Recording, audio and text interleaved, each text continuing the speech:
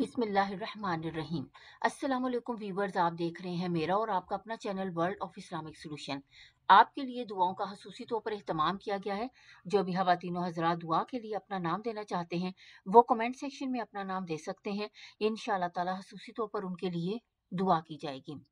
आज मैं आपके साथ पूरे रमज़ानुल मुबारक का, बरकतों वाले महीने का एक ऐसा अमल लेकर हाजिर हुई हूँ, जो एक दुआ की सूरत में है। और दुआ बहुत छोटी सी है, इसको हर नमाज़ के बाद आपने सिर्फ़ तीन दफ़ा पढ़ना है और अल्लाह पाक आपकी हर दिली मुराद को पूरा फरमाएँगे। इंतहाई आसान अमल है। माह रमज़ान चूँकि बरकतों वाला महीना है और इस माह की अजमत का अंदाज़ा इस बात से लगाया जा सकता है कि कुरान मुकदस का नजूर इसी पाक महीने में हुआ। रमज़ान का पहला अशरा रहमत, दूसरा अशरा मगफिरत और तीसरा अशरा जहनुम की आग से निजात का है। हज़रत उमर बिन खताब रज़ी अल्लाह ताला अनहो से मरवी है कि हजूर नबी अकरम वसल्लम ने फरमाया, माह रमज़ान में अल्लाह ताला का ज़िक्र करने वाला बख्श दिया जाता है और इस माह में अल्लाह ताला से मांगने वाले को नामुराद नहीं किया जाता। हज़रत इमाम जाफ़र सादिक रहमत फरमाते हैं, रोजेदार की नींद, इबादत और उसकी खामोश तस्वीर और उसका अमल कबूल शुदा है।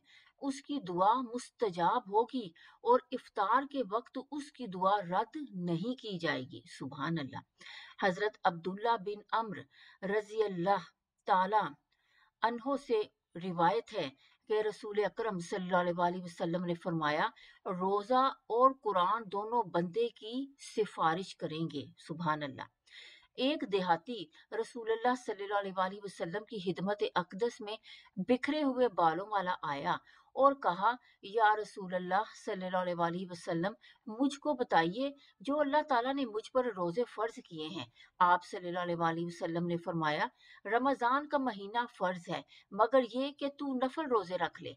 फिर इसने पूछा, मुझको बताइए कि अल्लाह ताला ने मुझ पर जक़ात फ़र्ज़ की है? रसूल अल्लाह सल्लल्लाहु वसल्लम ने उसको इस्लाम के इरशाद फरमाए। उसने कहा, उस जात की कसम, जिसने आप सल्लल्लाहु अलैहि वसल्लम को इज़्ज़त दी है, मैं कोई नफली अमल नहीं करूँगा और अल्लाह ताला ने जो मुझ पर फ़र्ज़ फरमाया है, इसमें कमी नहीं करूँगा। रसूल अल्लाह सल्लल्लाहु अलैहि वसल्लम ने फरमाया, कामयाब हो गया। अगर इसने सच कहा तो जन्नत में दाखिल होगा। बुखारी शरीफ में इस रिवायत का हवाला मौजूद है। सुबह अल्लाह आज की जो दुआ मैं आपको बताने लगी हूँ, ये पूरे रमज़ान में आपने हर नमाज़ के बाद सिर्फ़ तीन दफ़ा पढ़ लेनी है। अव्वल आखिर दरूद पाक पढ़ लीजिएगा, ज़्यादा मकबूल हो जाएगी। दुआ कुछ इस तरह से है और मैं स्क्रीन पर भी इसको काफ़ी जूम करके शो कर रही हूँ। आप इसका स्क्रीन शॉट ले लीजिएगा, इसको देख के पढ़ लीजिएगा या फिर इसको याद कर लीजिएगा। दुआ कुछ इस तरह से है अस्तगफिरुल्लाह अजीम अल्लाजी ला इलाहा इल्ला हुवल हय्युल कय्यूम व अतूबु इलैहि तौबता अब्दिन जालिमिन ला यमलिकु ली नफ्सिही जर्रम व ला नफअम व ला मौतम व ला हयातम व ला नुशूरा। जो भी मुराद दिल में होगी इन बहुत जल्द पूरी हो जाएगी। सुबह अल्लाह वीवर्स मुझे उम्मीद है कि आपको मेरी आज की वीडियो पसंद आई होगी। ज़रूर लाइक और शेयर कीजिएगा और अगर आप हमारे चैनल पर नए हैं तो चैनल को सब्सक्राइब कर दें और साथ ही बेल अकाउंट के बटन को ज़रूर प्रेस किया करें ताकि मेरी हर नई आने वाली वीडियो से आप मुस्तफ़ हो सकें। शुक्रिया, अल्लाह